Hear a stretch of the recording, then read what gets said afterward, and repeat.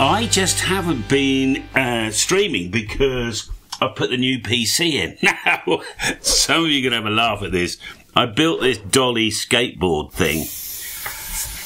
Uh, brought the PC down, forgetting how bloody huge it was. Put it on the dolly, it won't go under the desk because of the scaffolding. It is in the way. You know, when I made this desk, I could move the desk down a whisker. I just don't want to do that. Um, it's happy there. The other reason is the HDMI cable, cables from the telly and all the cables are perfect for that location. So what I've done, all I need to do is move the microphone out of the way and I can rotate the PC to get to the back. But it's all working. There's three serial ports in here. There's a bloody two actually. When I bought the new machine, I asked, uh, I, I bought this which had two serial ports and a parallel port. I don't need the parallel port, so I just left that off. But I installed it, I can't find the drivers anywhere, and you get this tiny little disc thing with it. So I'm going to have to find a way of putting that onto a memory card, a little stick, so I can get the proper. it won't work. I had to buy a little USB to RS232 because we're running three serial ports here. On the one hand, we've got on the top right, we've got this, uh, you know, the, the, the, software, and that needs its own port. And then N1MM needs its own port. You can virtualize these things, can't you? You can do, um, you can share serial ports. Oh, I, can, I just thought of buying another one.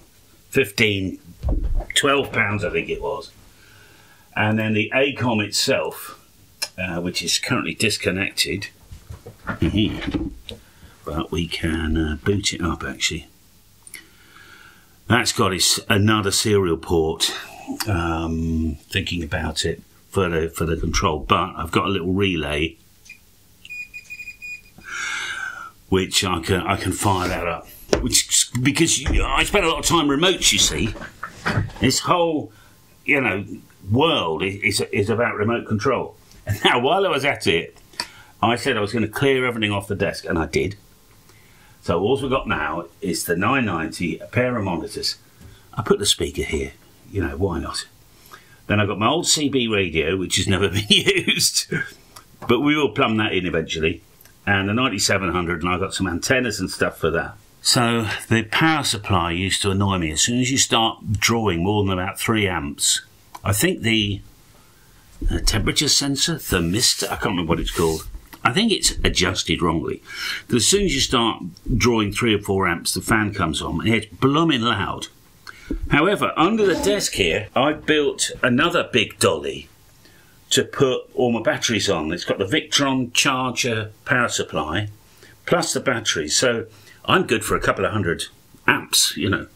The Victron itself will deliver 30 amps solid, plus the batteries for top up but I want to be able to switch it on and off. I want to be able to go batteries on, batteries off. So I went to RS Components, which is uh, it's electronic distributor in the UK, and I bought two little relays. Here they are. Uh, the idea being that um, it took me ages to find the right clickety clocks. Oh, I think. Yeah, they do go. Ah, there. So I'll put these in a little box, something like like this. A dab of hot glue to hold them in place.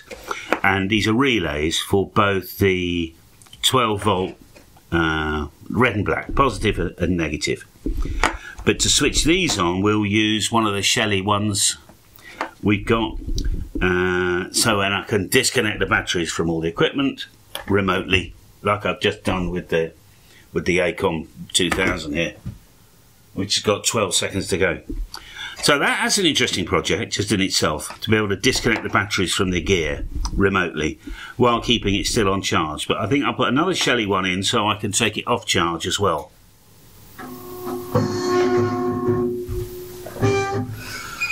Right, now we can connect to the amplifier. There we are. And we could go to standby and we're, we're on board. Lovely. Let's just uh, disconnect. Just disconnect that actually. Disconnect. I normally keep it like this so you can just see the bar graph, but there we are. Let me just switch it off.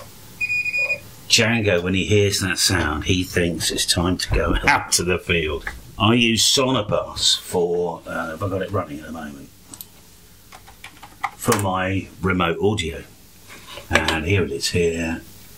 And I can connect, and I connect to the group M0XXT with this password. I connect to the group.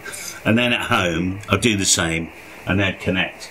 And you can see the meters here, left and right. And if you look at the audio here, on the, uh, not the audio, but the signal strength on the left and right meters, you can see the signal strength on the left of the TS990 is stronger than the right. And sure enough, I'm in stereo, in other words. But anyway, I really like the two VFOs in parallel together to get that real stereo feel. Put your headphones on uh, when you listen to that, it's quite interesting.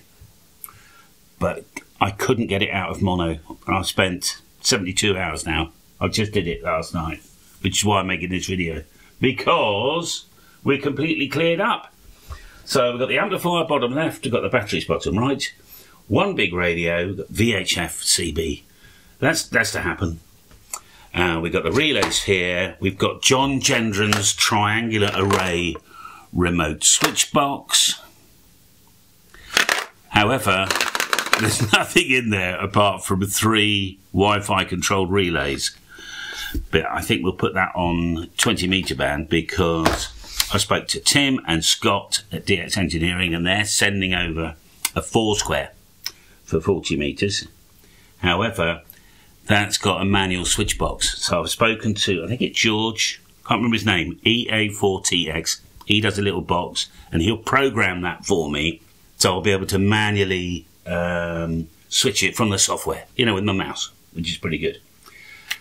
I've got to say, the other thing is uh, I was using Chrome Remote Desktop for this when I was at home. And, and I'll try, I'll put a shot of Chrome Remote, uh, Remote Desktop on the screen now. I render in 4K, so you probably, you probably only tell the difference if you switch to a big monitor here. But this is Chrome Remote Desktop.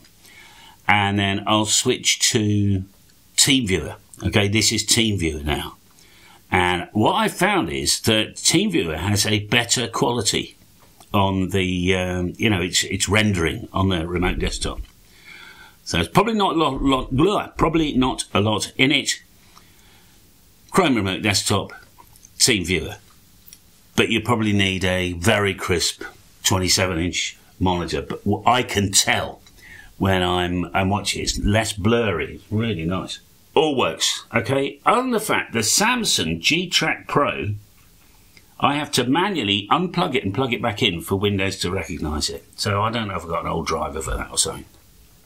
And now you will remember when I did the uh, the full tour, and we did the relays, we did uh, make it a desk, we did the sound conditioning, and all sorts of stuff. I said I'm going to get rid of all my shit. Well, in fact, what I did is I bought a load of boxes and labelled everything. I have even labelled the label printer. Okay, I've put everything in boxes. I'm absolutely delighted. And sure enough, I was after a mains lead the other day, and I thought, oh, I wonder where it could be. And I thought, well, I've got a box marked mains, mains leads. And sure enough, it was in there. Fantastic. So clear plastic boxes, I think, is the key if you've got a lot of trinkets. And that's about it. That's the reason why I haven't been around because this has taken me a couple of weeks getting the old machine in and the new machine in, getting the old machine out and the new machine in. By the way, doing a bit of experiment this morning. It's a Sunday morning right now. This is one of my Canon 80D cameras with quite a cheap lens on it actually.